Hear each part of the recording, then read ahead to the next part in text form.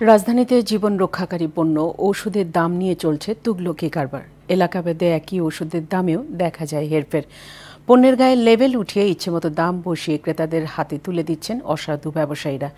এজন্য তদারকির অভাবকে দুষছেন ক্রেতারা। আর এ তৎপরতা বন্ধে তদারকি বাড়ানোর কথা জানালেন ঔষধ জনপ্রশাসন অধিদপ্তরের মহাপরিচালক। ঔষধ নিয়ে সুরাইয়া মনি তিন পর্বের ধারাবাহিকের প্রথম কিস্তি আজ।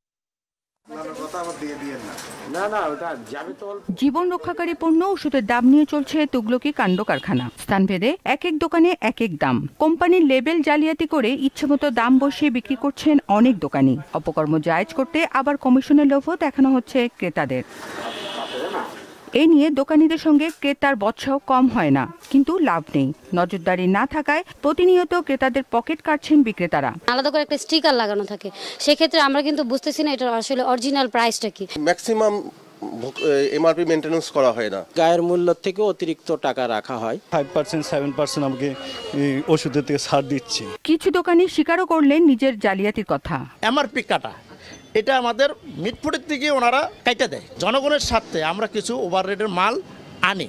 আইনা ওই প্র্যাকটিসিয়াম সলভ করার জন্য আমরা বিক্রি করি। সবসময় সব ওষুধ এক প্রাইসে মার্কেটে পাওয়া যায় না। কিছু অসাধু ডাক্তার আছে তারা টাকার বিনিময়ে ওষুধগুলো এখানে পাঠায়। এমন কিছু অভিযোগের খবর পেয়ে মতিঝিলের কয়েকটি ওষুধের দোকান পরিদর্শনে আসেন ভোক্তা অধিকার সংরক্ষণের সহকারী পরিচালক। কথা হয় তার সাথে। এমআরপি কাটা আসলে এই জিনিসটা নিয়ে আমরা এই অপরাধটা নিয়ে অনেক কাজ করেছি। সমস্যা হচ্ছে যে ওনারা যেটা বলছে যে সোর্সিংটা ওনারা আরেক জায়গা থেকে এনেছে বাট ওনারা কিন্তু ভাউচার দেখাতে পারে না। কিছু ফার্মেসি আছে যারা আবার প্রমাণ দিতে পেরেছে যে তারা কোথা থেকে এনেছে আমরা কিন্তু সেখানে মিটফোর্ডে আইনানুগ ব্যবস্থা গ্রহণ করেছি।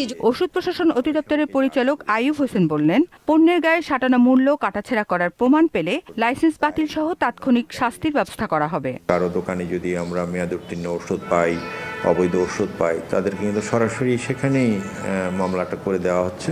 এ ধরনের অপকর্ম বন্ধে তদারকি বাড়ানোর আশ্বাসও দিলেন আইয়ুব হোসেন। তাদেরকে সচেতন করা তাদেরকে আইন সম্পর্কে অবহিত করা।